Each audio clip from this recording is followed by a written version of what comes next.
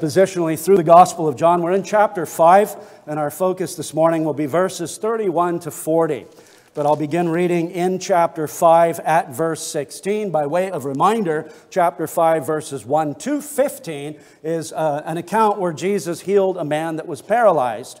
And as a result of his healing him, he told him to rise up, take his mat, and walk. Well, the Jews saw that and they thought that this was a vile uh, offense on the Sabbath day. So they then question our Lord Jesus, and that's the, the section we're in now. So notice in chapter 5 at verse 16. For this reason, the Jews persecuted and sought to kill him because he had done these things on the Sabbath. But Jesus answered them, My Father has been working until now, and I have been working. Therefore, the Jews sought all the more to kill him because he not only broke the Sabbath, but also said that God was his Father, making himself equal with God. Then Jesus answered and said to them, Most assuredly I say to you, the Son can do nothing of himself, but what he sees the Father do. For whatever he does, the Son also does in like manner. For the Father loves the Son and shows him all things that he himself does. And he will show him greater works than these that you may marvel. For as the Father raises the dead and gives life to them, even so the Son gives life to whom he will. For the Father judges no one, but has committed all judgment to the Son that all should honor the Son just as they honor the Father. He who does not honor the Son does not honor the Father who sent him. Most assuredly, I say to you, he who hears my word and believes in him who sent me has everlasting life, and shall not come into judgment, but is passed from death into life. Most assuredly, I say to you, the hour is coming, and now is, when the dead will hear the voice of the Son of God, and those who hear will live. For as the Father has life in himself, so he has granted the Son to have life in himself, and has given him the authority, or given him authority to execute judgment also, because he is the Son of Man. Do not marvel at this, for the hour is coming in which all who are in the graves will hear his voice, and come forth, those who have done good to the resurrection of life, and those who have done evil to the resurrection of condemnation. I can of myself do nothing. As I hear, I judge, and my judgment is righteous, because I do not seek my own, but the will of the Father who sent me. If I bear witness of myself, my witness is not true. There is another who bears witness of me, and I know that the witness which he witnesses of me is true. You have sent to John, and he has borne witness to the truth. Yet I do not receive testimony from man, but I say these things that you may be saved. He was the burning and shining lamp and you were willing for a time to rejoice in his light. But I have a greater witness than John's. For the works which the Father has given me to finish, the very works that I do, bear witness of me, that the Father has sent me. And the Father himself, who sent me, has testified of me. You have neither heard his voice at any time, nor seen his form. But you do not have his word abiding in you, because whom he sent, him you do not believe. You search the scriptures for in them you think you have eternal life. And these are they which testify of me. But you are not willing to come to me that you may have life. I do not receive honor from men, but I know you, that you do not have the love of God in you. I have come in my Father's name, and you do not receive me. If another comes in his own name, him you will receive. How can you believe who receive honor from one another and do not seek the honor that comes from the only God? Do not think that I shall accuse you to the Father. There is one who accuses you, Moses, in whom you trust. For if you believed Moses, you would believe me, for he wrote about me. But if you do not believe his writings, how will you believe my words? Amen. Well, let us pray.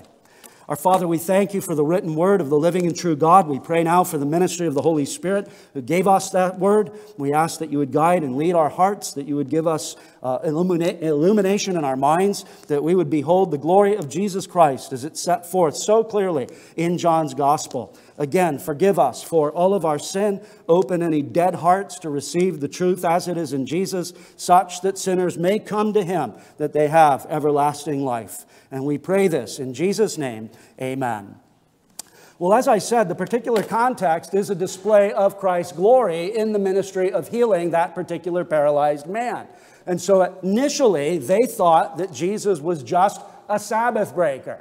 But then Jesus gave as the rationale for his works on the Sabbath day the rationale of his Father who worked ever since the creation of the world in providence. Now, that really outraged them. That really incensed them. Notice in verse 18, it says, Therefore the Jews sought all the more to kill him because he not only broke the Sabbath, but also said that God was his Father, making himself equal with God. Now, the theological word making himself equal with God is consubstantial. That means one substance with. We already see this in John's Gospel at chapter 1. If you notice in chapter 1, verse 1, it tells us, In the beginning was the Word. That's Jesus Christ. So in the beginning was the Word, and the Word was with God, and the Word was God, one in substance with the Father. And so the Jews understand his claim in chapter 5, and as I said, it makes them very unhappy. Now they not only want to kill him for what they perceive to be Sabbath breaking, but they want to kill him for blasphemy. Blasphemy, according to Leviticus 24, was punishable by death. And as far as they were concerned, a man equating himself with, a man asserting consubstantiality with the Father, was a likely candidate to be stoned to death for having committed the sin of blasphemy. So it's very curious as to how Jesus responds. What will he do? How's he going to navigate? How is he going to avoid this particular implication? Well, he meets it head on and confirms it. He tells them, You're absolutely, positively right. I am equal with my Father. I am consubstantial with the Father. And he first indicates that by his relation to the Father in verses 19 to 23.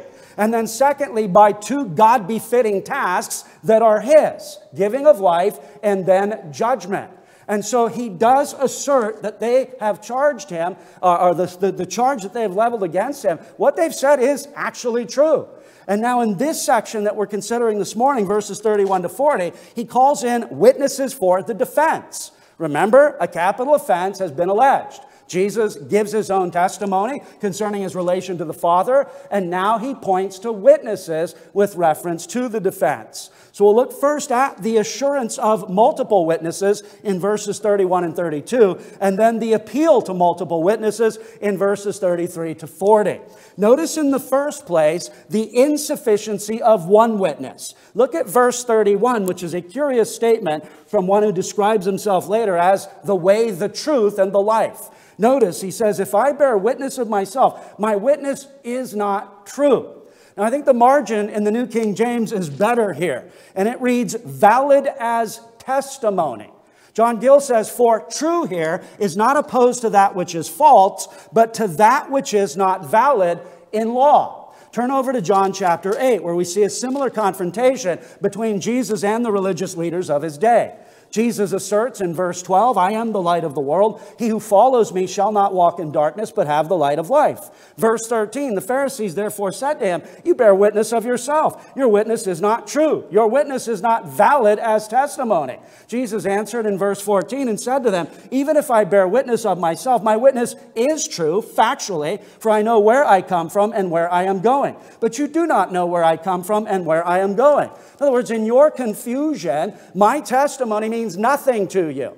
But back to John chapter 5, remember the context. They have alleged that he is guilty of two capital offenses. In Deuteronomy 17 and Deuteronomy 19, the laws of witnesses, or the law of witnesses, demands two or three witnesses in a capital offense. So for Jesus to say, my testimony is not valid in a courtroom is absolutely positively legitimate. So he points to the witness testimony. He points to those who can confirm that what he is saying is in fact true, that he is in fact equal with God, that he is in fact consubstantial with the Father. That's the emphasis that he undertakes. And it shows us just practically in a Western civilization that is abandoning the principle, Jesus' regard for due process.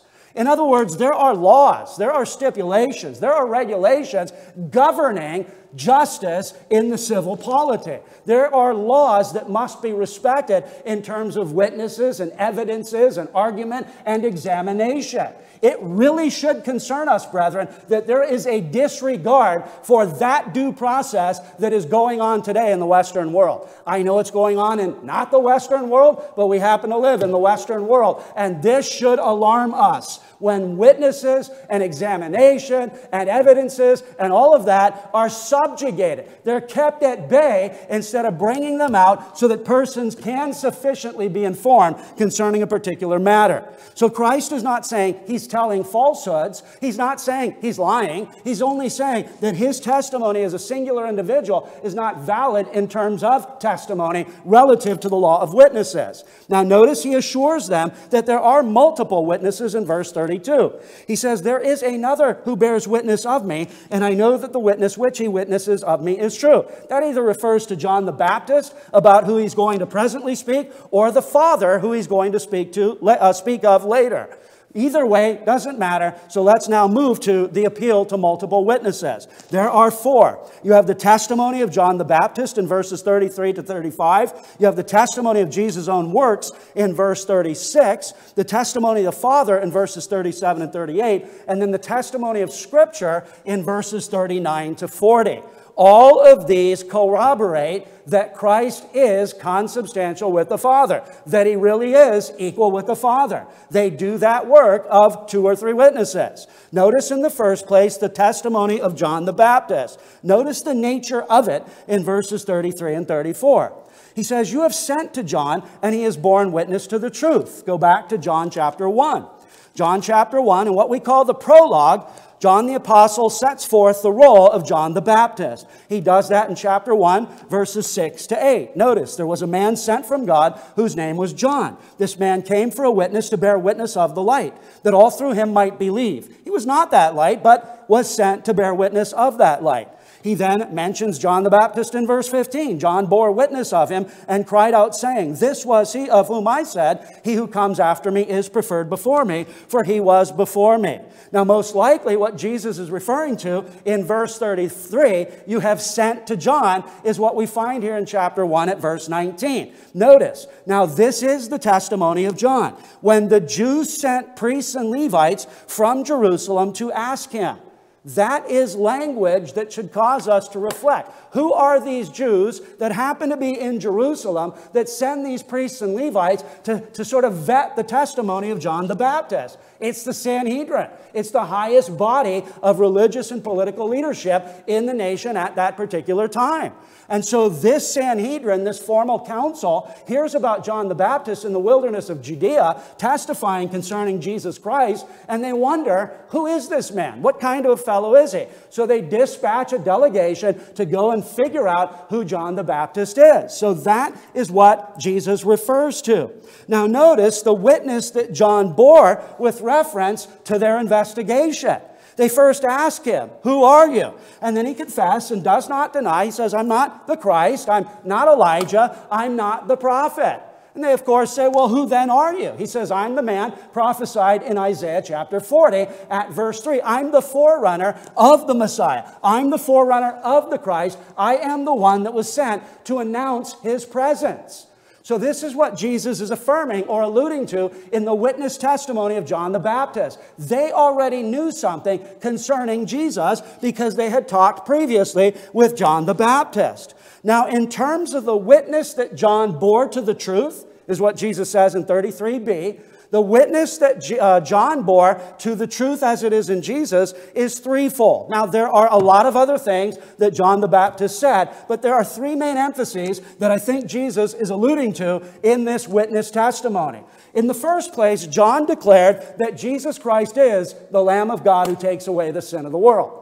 So John 1:29, John the Baptist when he lays eyes upon Jesus Christ says, "Behold, pay attention, look and see. This is the Lamb of God who takes away the sin of the world."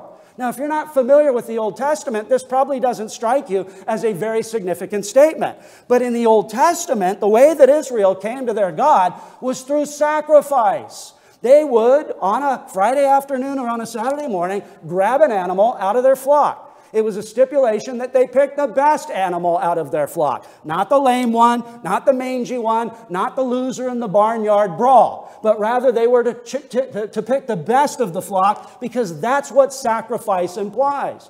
So they would take that particular animal, they would take it to the priest at the tabernacle or temple. The priest would then cut its throat, lay its hands upon it, and then cut it up and offer it up to the living. Well, actually, the, the, the, the worshiper would cut its throat and then hand it over to the priest in order to make atonement.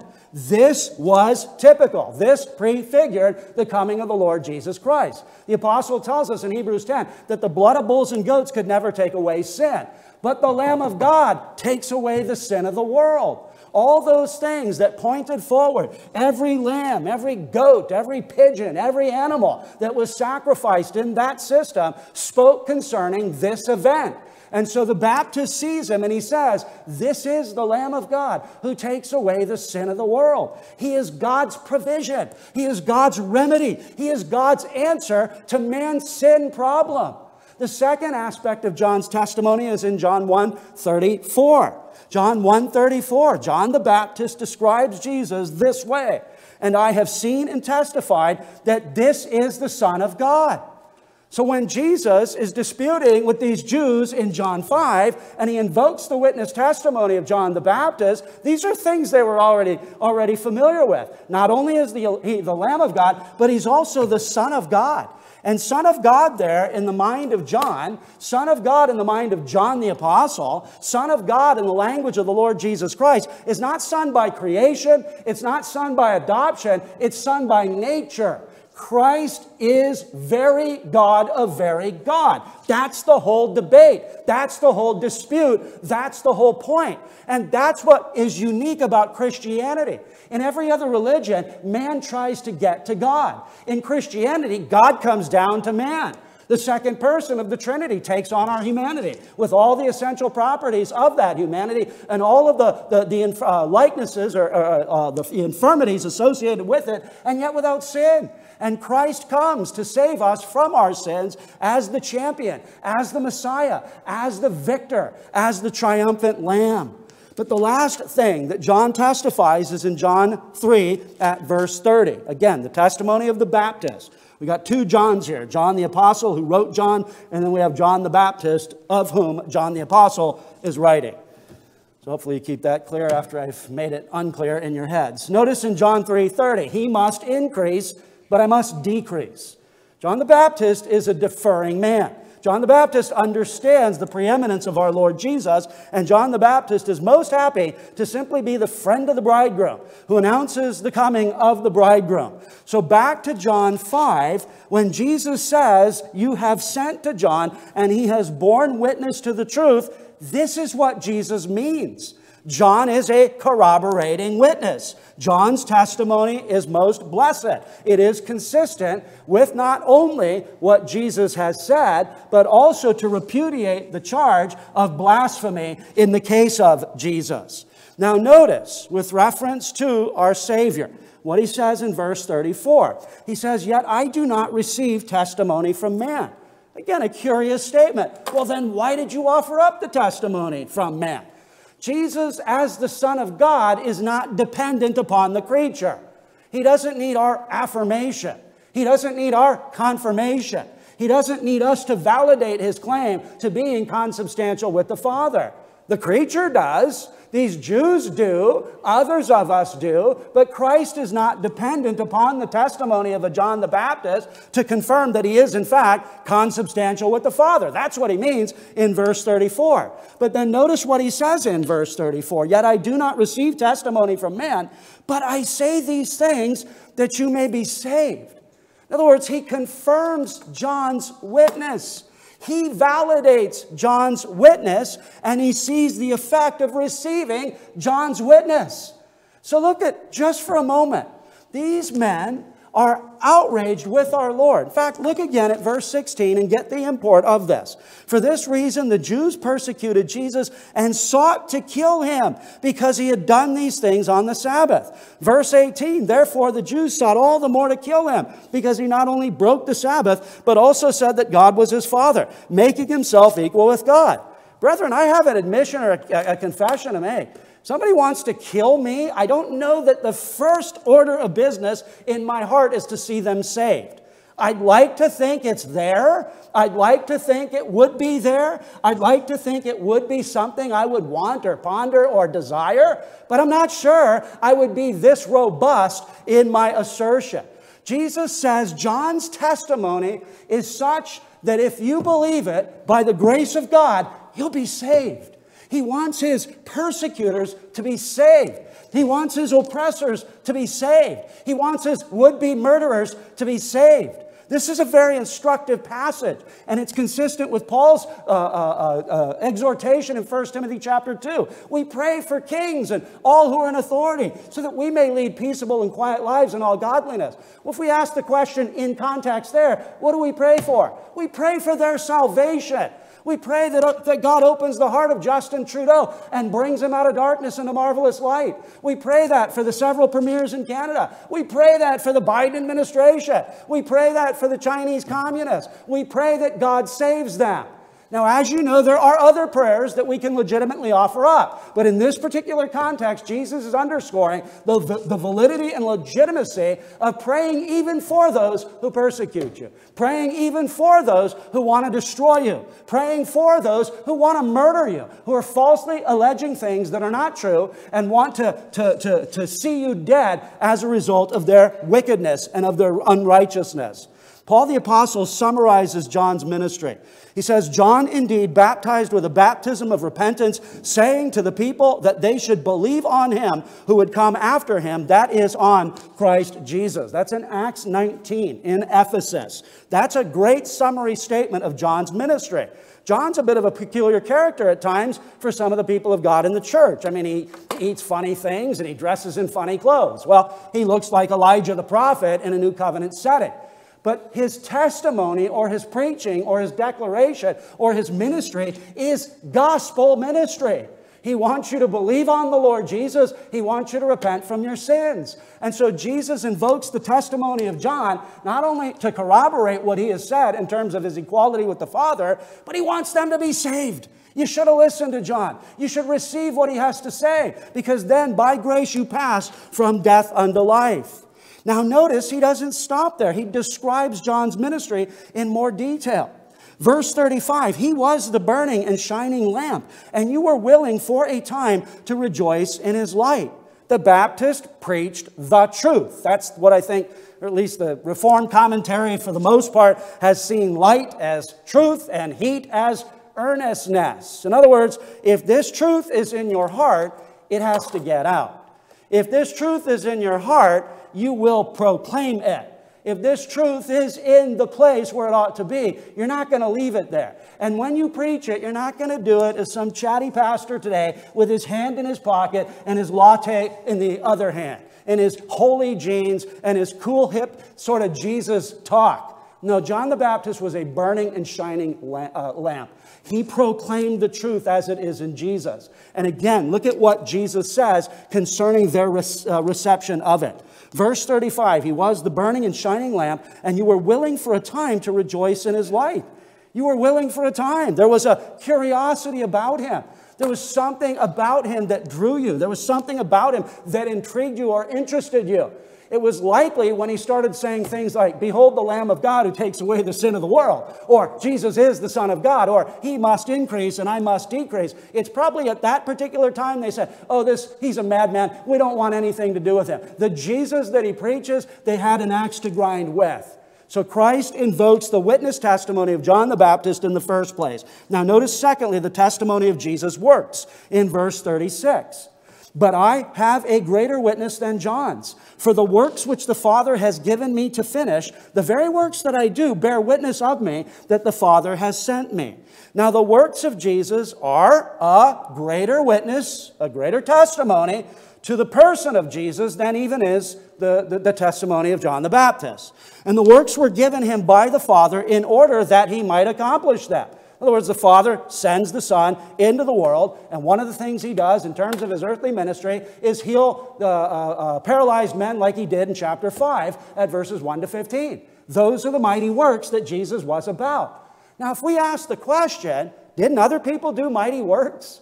I mean, think back in the Old Testament when Moses appears before Pharaoh. What happens? They throw down the rod and it turns into a serpent.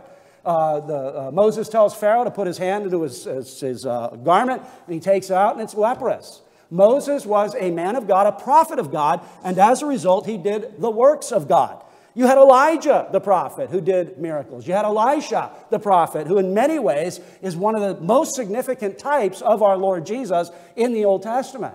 You had the prophets do miracles of God. And then after the ministry of our Lord Jesus, the apostles did the works of God.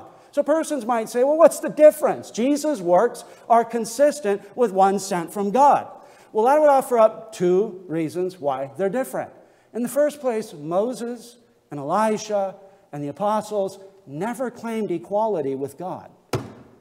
They didn't do these things and say, therefore I am the Son of God and therefore consubstantial with Him. They didn't do that. That is a significant difference. Jesus did that.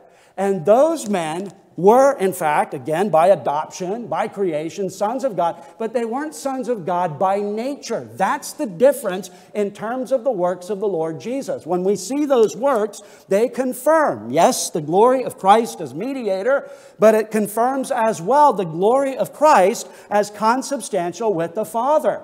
And so Jesus makes that emphasis in verse 36. I have a greater witness than John's for the works which the Father has given me to finish, the very works that I do, notice, bear witness of me that the Father has sent me. That's a big issue in this section. That's a big issue in all of John's gospel. This having been sent from the Father reflects something concerning theology. It's the Father who sends the Son. The Father is the one who eternally generates the Son. The Son is sent by the Father, and these works confirm that particular relation. These works confirm that Jesus is Son of God by nature in a way that Moses and Elisha and Elijah were not. The function of Christ's work were to confirm his eternal generation from the Father, and hence the works confirm that he is equal with the Father. Now, notice thirdly, the testimony of the Father. You see what Jesus is doing? Sometimes I think we read the Bible and we kind of wonder, what is he doing here? Well, he's answering the charges. He is answering the specific allegations that he is guilty of two capital offenses. Brethren, he's not only very God of very God, he is very man of very man. And as man, again, he respects due process. And as man, he uses those legitimate means that God has given to redress sinful accusations and things that could land us in hot water. So he gives the testimony now of the Father in verses 37 to 38. Notice in the first place the testimony of the Father to the Son. Now, it would be wrong to limit this to Matthew 3, Matthew 17, but it's not wrong to illustrate with Matthew 3 and Matthew 17. Matthew 3 at the baptism of our Lord Jesus Christ, when the Spirit descends upon the Savior and the voice of the Father, the voice of approbation comes, This is my beloved Son in whom I am well pleased. He has testified of his Son. At the Mount of Transfiguration in Matthew chapter 17 at verse 5, Jesus, as it were, displays his divinity, and then the voice of the Father comes and says, This is my beloved Son in whom I am well pleased. Hear him.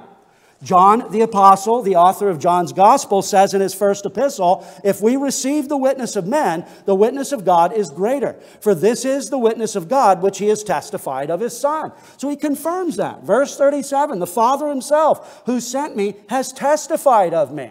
Do you think they're getting happier as he answers? Do you think they're getting more won over the when, as he proceeds? We're upset. We want to kill you because you're making yourself equal with God. Absolutely, positively, I am equal with God. Not only in my own relation to the Father, not only in my own God befitting functions as sovereign over life and, and, and judgment, but with reference to the various testimonies, not only from John the Baptist, not only from the works that I do, but from the Father, the very Father that you say you serve, the very Father that you say you worship, the very Father you say or claim to, to, to glorify. And now notice in verse 37. He says, You have neither heard his voice at any time nor seen his form. Perhaps there's an allusion to Deuteronomy 4:12. Deuteronomy 4:12 and Yahweh spoke to you out of the midst of the fire. You heard the sound of the words but saw no form. You only heard a voice. So that is a, a, a very biblical and a very acute observation. God is spirit and does not have a body like men. This is one of the reasons for the prohibition against idolatry. We're not supposed to fashion something, even in the, uh, uh, uh, uh, according to the true and living God, that is creature, because God is not creature, and to try to contain him in golden calves simply cannot do. But what Jesus is saying, not only have you not seen his form, but you've not heard his voice. Now, brethren, this would be a big challenge to these people right? They were brought up in the synagogue. These are most likely leaders, or some of them, that were quite in tune with the scriptures. These, these were the kinds of guys that, that wore phylacteries. Those were little boxes that you wore on your, on your arm or you put it around your head, and in those boxes were scripture texts. So they knew the scripture, they understand the Word of God. They understand the, the, the reality of Yahweh of Israel having created all things and having been the, the governor of all things. The God of Israel being covenant Lord. The God of Israel being the one who saves his people. But with reference to Jesus' condemnation here, he affirms you don't know him. You don't have him. What do you think he's uh, uh, uh, uh, saying? It's going back to chapter 5, verses 23 and 24. Look at what he says in verse 23 He who does not honor the Son does not honor the Father who sent him. Verse 24 Most assuredly, I say to you, he who hears my word and believes in him who sent me has everlasting life and shall not come into judgment. So, dropping down to verse 38 or verse 37, when he says, You have neither heard his voice at any time nor seen his form, he goes on to elaborate or explain this. But you do not have his word abiding in you, because whom he sent, him you do not believe. See, for all the vague sort of spirituality that exists in our world, it's all a bunch of garbage if it is not rooted in the Lord Jesus Christ. Oh, I have a relationship with God as I understand Him. You know what really doesn't matter in life is as you understand Him. What matters is the revelation of God from Genesis to the book of Revelation the true and living God, the one from everlasting to everlasting, the God who made beautiful days like these, the God who governs all his creatures and all their actions, and the God and Father of our Lord Jesus Christ who saves his people from their sins. That's the only God there is. So, this vague notion that I have a relationship with God, but I'm not so interested in Jesus Christ, is just like empty, futile words. Look at what the Son of God says in verse 38. But you do not have his word abiding in you, because whom he sent, him you do not believe. In other words, if you reject the Son of God, who is Son by nature, who is consubstantial with the Father, then you are, in effect, rejecting the Father. It's a pretty simple concept, really. Aquinas says, consequently, anyone who does not believe that he is the Son of God does not believe in the testimony of God. It's a very simple logical exercise. You reject the one whom the Father sent, therefore, you've rejected the Father himself. And again, brethren, I do not think for a moment he is winning them over to his side.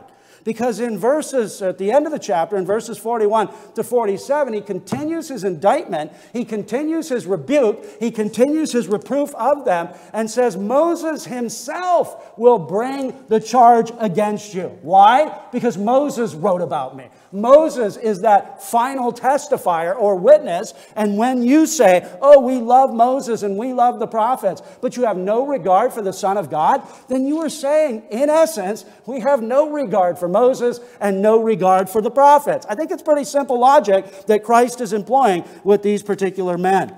Now, notice, fourthly and finally, in terms of the witness, the testimony of Scripture, verses 39 and 40. He speaks of their willingness to search the Scriptures, and then he speaks speaks to their unwillingness to come to the Son. Again, it's a paradox. If the scriptures exist to point us to Jesus, and we don't come to Jesus, then we really don't care about the scriptures. I'm not trying to make this overly simple, but that's how simple it is in terms of his approach to these particular leaders or these particular Jews. Look at what he says in verse 39. You search the scriptures. It's not a command here. It's not an imperative. It could be, it could go that uh, either way, either an imperative or an indicative, but it's an indicative. He's not saying, I want you to search the scriptures. I want you to learn of me. I want you to find out what Moses and the prophets say. No, he's speaking to something that was their practice. You search the scriptures. You investigate them. You examine them. Again, they wore phylacteries. They went to the synagogue. They were about the Torah and about the prophets. They were about the writings. They, they were very curious about what Isaiah had to say, very curious about Obadiah, about Jonah, about Micah, very curious about the Kings and, and Chronicles and 1st and 2nd Samuel. They weren't like us in many respects because they actually searched the Bible far more than modern Christians do in the, the, the, the world in which we live. So he says, You search the scriptures, and then he gives the reason why. You search them. Why? Because in them you think you have eternal life. Again, that's a good thing, right? If I wanted to find out how to plumb, I would go get a book on plumbing. If I wanted to find out how to, you know, do something electrical, I'd call Lucas or Benjamin. If I wanted to learn how to fix a car, I'd go online or Google. If I want something about eternal life, I go to the Bible. This is a good thing, right? The Bible holds the words of everlasting life. It tells us of a holy God. It tells us of sinful man. And it tells us of God's provision in the person and in the work of the Lord Jesus Christ. So Jesus acknowledges this. You search the scriptures, for in them you think you have eternal life. But then notice the issue. Notice the rub. Notice the problem. You do all this searching, you're looking for eternal life, but you've missed this fundamental point. These are they which testify of me. Big problem again. You guys have read Moses, you've read the prophets, you've read the writings, you've searched for eternal life, and all those things have converged at this very moment in redemptive history, in the coming of the Lamb of God who takes away the sin of the world. You search those scriptures, you think in them you have eternal life, but these are they which testify of me. That does a great deal with reference to those people. I am sure they did not like this one bit. We don't get sort of their response at the end of chapter 5. We get it at the end of chapter 10, where there's a similar construct where Jesus there is accused of making himself equal with God. I wonder why. Because in John 10 30, he says, I and the Father are one. How many times do we need to hear this, right? Jesus is God. This isn't made up. This wasn't Nicaea that put this together. Nicaea only confirms what the Bible teaches concerning our blessed triune God, Father, Son, and Holy Spirit. But in John 10, after he makes that assertion, what do they do? They get outraged again because he made himself equal with God, and then they take up stones to throw at him. Same sort of thing in John chapter 8. So, probably here at the end of John 5, after giving them these sort of truth bombs or red pills or whatever we want to call them, they did not like this. And I'm sure they did not like verse 39. You search the scriptures, for in them you think you have eternal life. And these are they which testify of me. Now, that's an interesting statement. The Bible uh, uh, illustrates that further. Christ is the scope of Scripture. Christ is the telos. Christ is the purpose. Christ is the reason. There's a comment on Ruth chapter 4, verses 17 to 22 that I want to read that sort of summarizes this. You might go, why Ruth chapter 4? You know what the point of Ruth is? It's Ruth chapter 4, verses 17 to 22. It's not the love story. It's a beautiful love story. I mean, I could see it today. All the women reading those romance novels. Oh, Ruth, what a wonderful woman. What a virtuous woman. And a virtuous woman she was. She's mentioned that way twice in the book of Ruth. In the Jewish canon, you've got Ruth, then Proverbs, right? Proverbs is the, uh, Proverbs 31 is the virtuous woman. Well, with reference to Ruth, it's all about the genealogy. It's all about the end. It's all about the end game and how it connects us to the Lord Jesus Christ. John Gill says, with reference to this brief comment in Ruth 4, the principal design of it is to give the genealogy of David, whom Samuel had anointed to be king of Israel, and from whom the Messiah was to come, and who therefore may be said to be the aim and scope of it, as he is all of Scripture, and whereby it appears that he sprung from both Jews and Gentiles, and is Savior of both, and there is good foundation for both to hope in him. And the call and conversion of Ruth the Moabitess may be considered as a shadow, emblem, and pledge of the conversion of the Gentiles. But you see Jesus' emphasis on Jesus being scope of the scriptures in Luke's gospel. You can turn there, it's very close, Luke 24. Luke chapter 24, notice what Jesus says in verse 25. Then, Jesus, or then he said to them, O foolish ones and slow of heart to believe in all that the prophets have spoken. Ought not the Christ to have suffered these things and to enter into his glory? And beginning at Moses and all the prophets, he expounded to them in all the scriptures the things concerning what? Concerning himself. Verse 44 Then he said to them, These are the words which I spoke to you while I was still with you, that all things must be fulfilled which were written in the law of Moses and the prophets and the Psalms concerning what? Concerning me. And he opened their understanding that they might comprehend the scriptures. Remember Peter preaching to the household of, uh, of, Cornelius in Acts chapter 10, verse 43. He says, To him, Jesus Christ, do all the uh, prophets testify or witness that whoever believes in his name will have everlasting life. Christ is scope of the scriptures, and that's what he says to these Jews. And then he uh, ends on this note, at least in our sermon this morning, and you're probably happy to hear that. Verse 40, but you are not willing. So they have this willingness to search the scriptures. They have this willingness to find eternal life.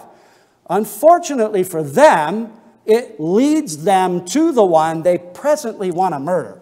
That kind of is a conundrum for them and a bit of an enigma. And then he highlights this reality in their setting. But you are not willing to come to me that you may have life. The unconverted Jews miss the point of the Bible. The unconverted Jews miss the point of Moses and the prophets.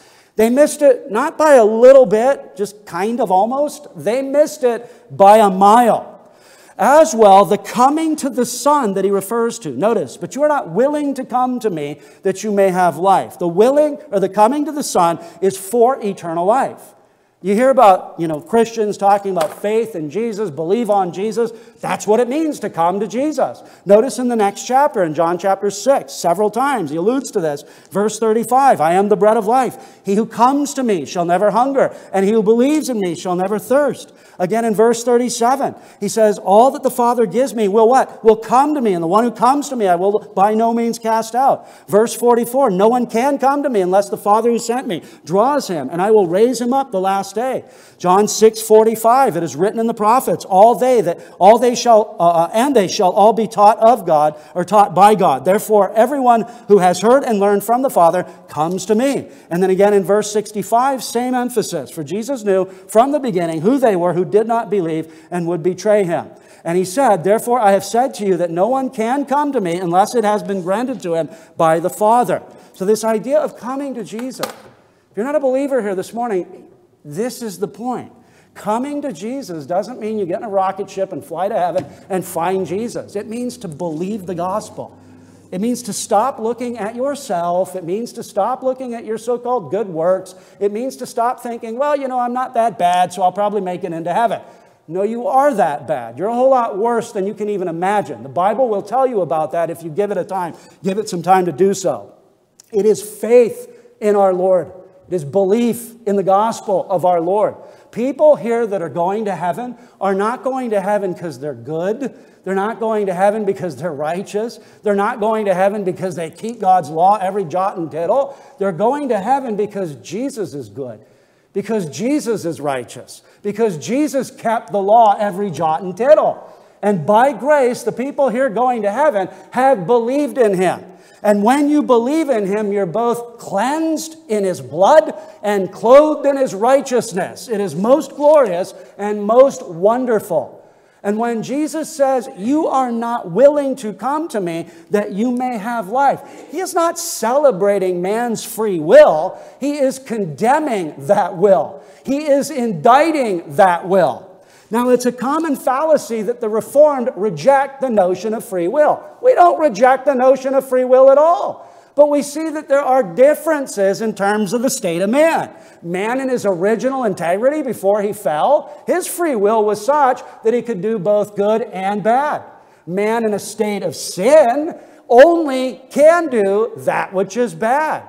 Man in a state of grace, again, has been restored to a place where he's able to do that which is good, and he still struggles doing that which is bad. And then the state of man in glory. His will is confirmed only to do the good.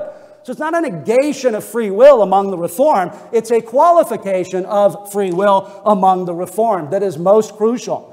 But in this passage, he is not saying to them that it's your free will alone, unaided by the power of the Holy Spirit, that will bring you out of darkness into life. No, he's simply making the observation man's will is bound by his wicked heart. And their wicked heart was on full display in the fact that they wanted to destroy him, who was in fact the Son of God by nature, testified to by the Baptist, his own works, the Father, and the Scriptures that they themselves said they had allegiance unto. John Gill speaks to this issue in terms of free will. He says, In such the depravity, perverseness, and stubbornness of their wills, that they had no inclination, desire, and will to come to Christ, any more than power, which is an argument against and not for the free will of man, unless it be that which is evil.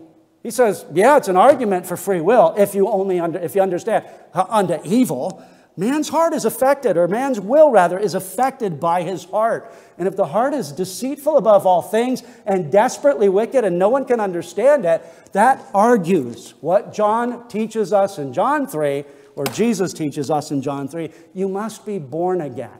So Christ ends the dispute, not here, but he will, God willing, in our study next week, with rebuke, with indictment, and with reproof.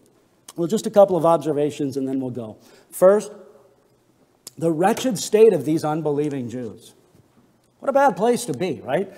You've, you've lived your life, you've gone to synagogue, you've gone to you know, rabbi school, you've, you've learned, you've studied Torah, you've studied the prophets, you've studied the rabbis, and you've missed everything they had to say. You, you've missed it by, by a million miles. The searching of Scripture for eternal life and completely missing the point.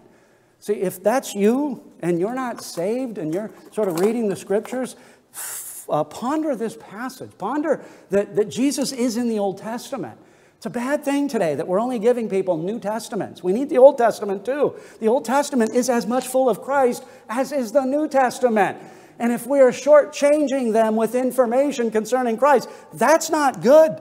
Perhaps you've read recently where the CDC hid data with reference to COVID 19. That's atrocious. That's horrifying. But do we do that in the church with persons concerning Jesus? Give them whole Bibles. Brethren, we're rich enough, wealthy enough to buy both testaments to give to our unconverted friends. Search the scriptures with this mindset. They tell me and they lead me to Jesus. It's about Christ. You don't have Christ, you don't have life. And that's the, the horrible state these Jews find themselves in. Secondly, and I want to camp on this just for a moment because I don't ever want to leave without holding up the Baptist as a good example. Not in terms of his ecclesiology, but in terms of his ministry. Kind of goes along with what we read in 2 Timothy chapter 1. Timothy was to be the kind of man that was bold and courageous in the midst of suffering and persecution and oppression. John the Baptist was that kind of man. When Jesus is asked, or when John sends a delegation, John's in prison, the Baptist, and he asks Jesus, Are you the Christ? Are you the coming one? Or do we wait for another? He's not actually wondering concerning the identity of Jesus. He knows the identity of Jesus, but he knows the prophet Isaiah. And the prophet Isaiah says that consistent with the coming of the Messiah, there will be healing, there will be blessing, there will be liberty, there will be joy. Well, John the Baptist is in a prison probably thinking to himself, if this is the time of Messiah, then what is a, a good guy like me sitting in a prison cell? So Jesus then praises the ministry of John the Baptist. In fact, turn to Matthew chapter 11. This is the kind of guy you should pray for in terms of eldership, in terms of missions, in terms of pastorate, in terms of preaching. The world has enough effeminate Nancy boys standing in pulpits with their hands in their pockets. We need John the Baptists. We need Timothy's. We need Paul's. Notice in verse 4 Jesus answered and said to them, Go, tell John the things which you hear and see. The blind see, the lame walk, the lepers are cleansed, and the deaf hear. The dead are raised, uh, uh, uh, dead are raised up, and the poor have the gospel preached to them. And blessed is he who is not offended because of me. So go answer John. Go answer John the Baptist. Tell him this is what Isaiah spoke of, because these things are consistent with the ministry of Messiah. Now, notice in verse 7 as they departed, Jesus began to say to the multitudes concerning John, What did you go out in the wilderness to see? A reed shaken by the wind? Did you go out to see a Nancy? Did you go out to see an effeminate man? Did you go out to see somebody who was easily knocked off his game by the prevailing winds of doctrine? No, you didn't go out to see a reed shaken by the wind. You went out to see a man who is going to tell you 16 ounces to the pound biblical truth every time he opens his mouth. And then notice in verse 8, but what did you go out to see? A man clothed in soft garments? Indeed, those who wear soft clothing are in kings' houses. Probably a reference to court prophets.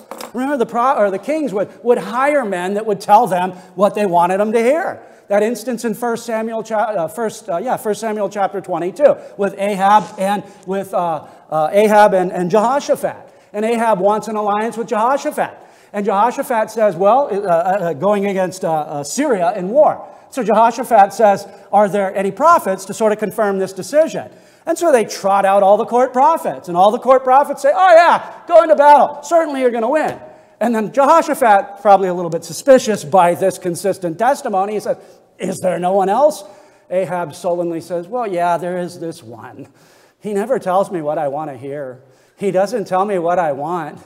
And then Jehoshaphat thankfully says, Well, let, us probably hear what he has to say. So Micaiah comes and tells him, You're going to die on the battlefield, Ahab. You know what that got him? Did it get him a promotion? Did it get him a new car? Did it get him a wife with big hair? No, it got him jail time and bread and water. So the Baptist was not a court prophet. Verse 9, but what did you go out to see? A prophet? Yes, I say to you, and more than a prophet. Now, when we pray for pastors, we pray for missionaries, we pray for elders to be raised up in our churches, they're not going to be the same as the Baptist in terms of his role or function in redemptive his history. He's not, that's just not. But in terms of the spirit and the power of, a, of John the Baptist, that, that burning and shining lamp, Brethren, we have the Word of God. We have the theological goods. We have the truth as it is in Jesus. What do we do with that? We preach it. We proclaim it. We herald it. We thunder it. The voice of Yahweh crushes the cedars of Lebanon, according to Psalm 29. The voice of Yahweh in the scriptures of the New Te- Old and New Testament crushes the hardened hearts of men and women and boys and girls. So, what do we do? We proclaim it. We pray for God to raise up men to proclaim it. Of course, we see, thirdly, the glory of the only begotten Son. The consistent testimony of John the Apostle from the very beginning to the very end of his gospel, uh, uh, uh, uh, gospel record is that Jesus is the Christ, the Son of the living God. And that testimony is upheld, not just in the prologue and not just in John's sort of ending statement, John 20, 30, and 31, but it's in the life and ministry of Jesus. So, what you see in the prologue in chapter 1 is what you see in the ministry in chapter 5. The economy reveals to us something concerning the theology. The economy underscores what is true in the theology. And it underscores this fact that Christ is the second person of the Trinity, that Christ came and dwelt among us, that Christ lived in obedience to the Father's law, that he died as a substitute and as a sacrifice to function as the Lamb of God. And then Christ was raised the third day, such that all who believe in him will have everlasting life. Now, brethren, don't make the mistake, or friend, don't make the mistake of these Jews. Don't make the mistake of just, you know, discounting this, just rejecting this. We had an interesting thing happened over the weekend. The, some of the little grandkids came and stayed with us, and one of the little grandkids, she's the cute blonde you see bouncing around in here, she wears glasses. And my beloved said, she's pretty protective of those glasses. I said, what do you mean? She says, well, whenever she takes them off, she uses two hands. Kid's three and a half. I mean, I still, you know, bend them or whatever, take them off. And, and, and, and when she takes them off, she carefully lays them on the table. Three and a half. And I was thinking about this this morning. I thought there's probably one of three reasons why she does that. First, parental pressure. If I bought my children things that cost lots of money, I threatened them. I said, don't break these because they cost me a lot of money. Second is intellectual. My wife and I are convinced she's a genius, so I think that, you know, bright people don't break things. But the third I thought was probably more appropriate. It's practical. It's practical. She knows the value of the remedy because she understands the gravity of the problem. See, without those glasses, she doesn't see very well. They said when she got those glasses and put them on, it was like, wow, right? This is great. Well, when something helps you like that, you guard it. You see the value of the remedy, and therefore you understand, or because of that value of the remedy, it's, it's closely connected to the gravity of the situation. I suspect that many here have a concept of sin. Sin is what those guys out there do. Sin is a little bit of what I do because I'm not perfect. I, I, I, do try, and if all things being equal and God grades on a curve, I'll probably make it. And I've never murdered, I've never committed adultery. You don't understand the gravity of the problem. You don't understand what Westminster Catechism says. What does every sin deserve? Every sin deserves God's curse and wrath, both in this life and that which is to come. When you understand the sin problem, Jesus is then altogether lovely and chief among 10,000. When you understand that you have transgressed God's law, not just a little bit, but every jot and tittle. When you understand that you lack that conformity that God calls you to, then Jesus comes as that blessed Savior, as that blessed Redeemer, as that blessed Lord and Son of God, as the Lamb of God who takes away the sin of the world. You've got big problems today if you're not a Christian. And those big problems, uh, problems are going to land you in hell. And the only escape is through the one that is testifying in the scripture here that he is equal with his Father and that he has come to seek and to save that which is lost. Look to him in faith. Use the idea that we see here in verse 40 come to him by grace through faith and you will have everlasting life. Let us pray. Our Father, we thank you for your word. We thank you for your grace. We thank you for the gospel of our salvation. And God, we do pray that you would undertake on behalf of sinners, bring conviction for sin, and set before them the blessed Christ, the one who is able to save to the uttermost all who draw nigh unto you through faith in him. We ask that you would look with favor upon this world, that you would send forth your glorious gospel, conquering and to conquer. And we pray in the name of our Lord Jesus. Amen. Well, let's stand and sing 568 in praise to our great and triune God.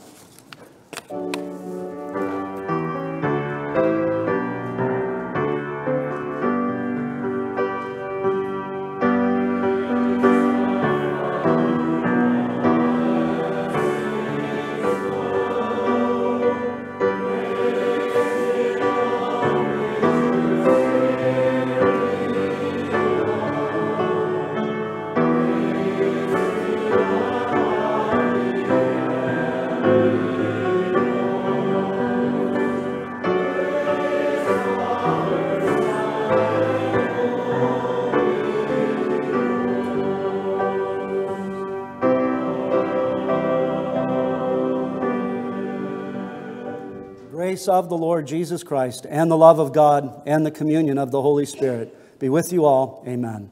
Father, we pray that these things would be true for each of us, that we would know this experientially by your grace and for your glory. God, we pray that all over the earth, as the gospel goes forth, you'd open hearts to the, the grim reality of sin and its consequences and set forth the glory of Jesus Christ and his power and ability to save sinners. And in this, God, we pray that Father, Son, and Holy Spirit would be glorified, would be exalted, and would be praised. And we ask in Jesus' name, amen. Please be seated for a brief time of meditation.